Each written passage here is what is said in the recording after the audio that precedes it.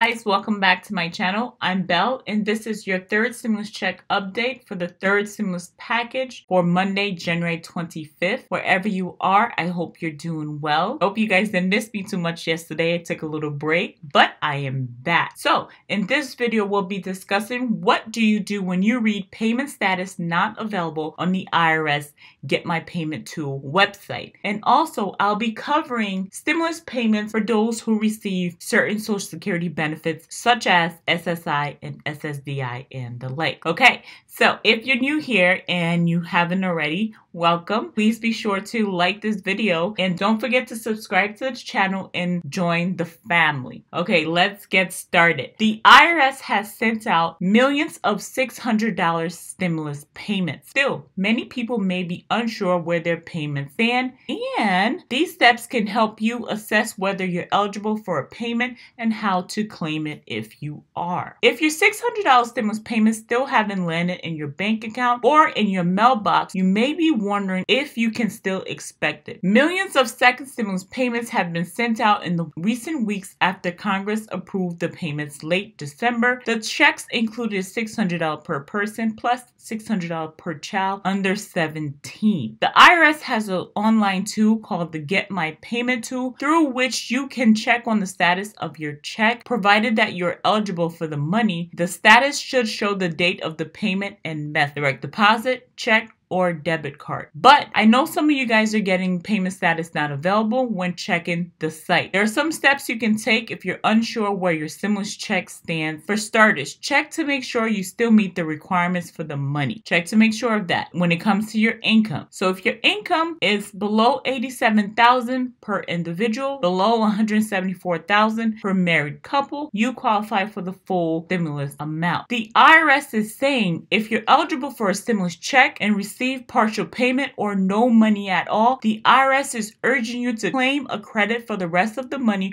when you file your 2020 tax return. This year, the IRS has pushed back the start of the tax season until February 12th. The tax agency is unable to reissue mail payments that are returned by the post office. To recover money missing in transit, you may claim it on this year's return. For direct deposit that went to incorrect bank, the resolution may be a bit more complicated. Payments could be misdirected if you use a service that provided you with the advances on your tax refund. The IRS and the tax industry are partnering up to take steps to redirect stimulus payments to the correct account for those who were affected. The IRS anticipates many additional taxpayers will receive payments following this effort. You don't need to take any action as this work continues on. I read pretty much every single comment that comes through. As long as I see it, I read it. And I know some of you guys are saying that the payment was sent to wrong bank accounts. IRS will redirect those stimulus payments to the correct account of those who are affected. There's nothing that you need to do besides wait. The bank account information you already have on file with the IRS cannot be changed through the Get My Payment app, which shows the status of the second payment. If you see payment status not available when you check on the site, that could mean either you're not eligible or the government was unable to issue you a second payment. If the latter is the case, you can claim the money as a credit on your tax return. People who typically do not submit tax returns should also plan to file in order to get their money, unless they already provided the information to the government last year. Those who receive federal support through Social Security, railroad retirement, or veterans benefits generally should get the money or automatically. If you haven't gotten your stimulus payment and you are someone who received certain social security benefits, people who receive no stimulus checks or partial stimulus checks can apply for the credit by filing the Form 1040 or an individual tax return. If you're a senior, you file the Form 1040 SR. Okay, let's move right along. And for those who receive certain social security benefits, Biden's platform called for big changes to social security. Here's what's on the table for you guys right now. Regarding Social Security benefits, Joe Biden has promised to not only protect Social Security, but to boost it in general and to include a $200 per month Social Security stimulus boost for everyone on Social Security. While this is not included in the American Rescue Plan, Biden has pledged to get this done in his first 100 days in office. I read pretty much every comment I see and understand you guys' struggles.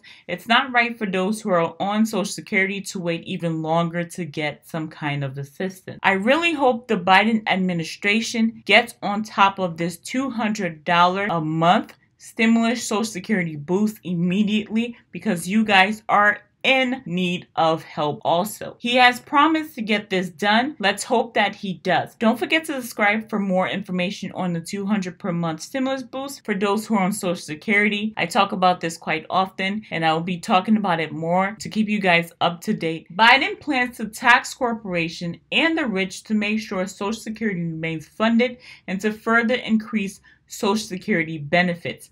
Not sure if you guys remember this, but President Biden slammed Trump for cutting taxes that help fund Social Security. One of the executive order Trump signed into law last year was payroll taxes. While the goal was to stimulate growth of the economy, what it ended up really doing is cutting into the Social Security bank by reducing payroll taxes. Worst part, he didn't get much of a solution to make up the lost revenue in the Social Security bank. While Biden promised to protect Social Security and Medicaid, this is what he said. For our seniors, Social Security is a sacred obligation, a sacred promise. He said Trump threatened to break that promise in the proposals that he made about eliminating taxes will cost the Social Security Bank almost half of its money in lost revenue. We have to hold Joe Biden to his word. He needs to improve Social Security. He needs to improve that $200 stimulus boost for those on Social Security benefits. Let me know what you guys make of this in the comments below. Don't forget to subscribe to the channel for more updates like these. Like the video if you haven't already. It's really appreciated. That's all I have for for you guys in this video. Thank you for tuning in. As always, keep your hands clean and stay safe, and I will see you in the next video.